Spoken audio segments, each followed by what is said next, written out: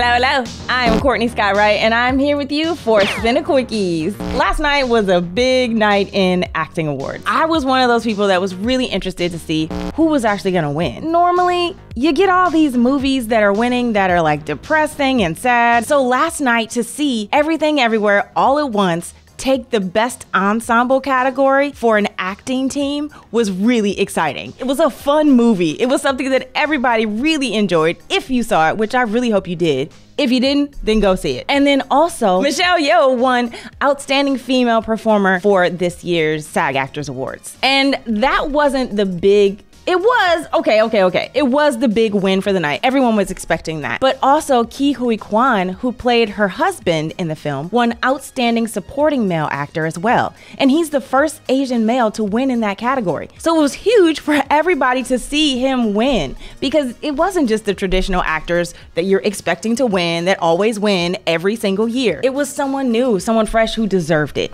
And I'm so excited for him because his award speech was something that was inspiring to me as an artist. He gave up acting for 20 years and then came back because of this film. And this is what happened. It shot him to the spotlight and he won Outstanding Supporting Male Actor. I can't even tell you how, as an artist, that's inspiring to me. It was a sweep for a lot of the categories for this particular film. Brendan Fraser did win for The Whale, which was expected.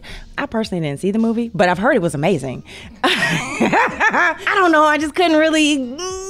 I haven't brought myself to the point where I'm ready to be in tears. What do you think about the whale? Did he deserve this award? Mandalorian season three is starting. Are you ready? Because I'm ready. I've been waiting for this. I've been rewatching. I've been catching up. Well, okay, I've been rewatching most of the things. Uh, rewatched part of Boba Fett, episodes five, six, and seven, which is the last time that we saw the Mandalorian, Din Djarin, and Baby Grogu. I'm ready to see like what they get into. Obviously, we're gonna be moving into Mandalore, getting some fabulous characters. Hopefully, hopefully from the Rebel series that is also going to set up for Ahsoka, the new season, which is supposed to start reportedly in July. It's been well over two years since season two ended, but we've seen Din Djarin and Grogu in the Book of Boba Fett, as I already mentioned, and a lot happened in that three episode arc. Din was told by the armorer that he is a Mandalorian no more, which I had feelings about that. Now, for those of you who are Star Wars Rebels fans and Star Wars The Clone Wars, I don't know, you probably already knew this, but I figured it out yesterday that he was raised in the old ways, the old ways of Death Watch,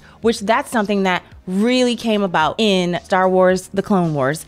And in Rebels, we see Bo Katan. I'm sorry, let me take that back because I don't think we see Bo Katan in Rebels. we definitely see Bo Katan in Star Wars The Clone Wars.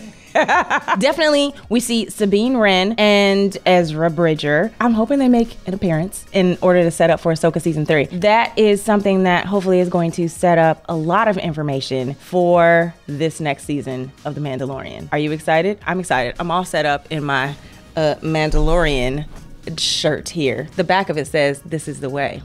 So, You're not gonna show us? you want to see it? Okay.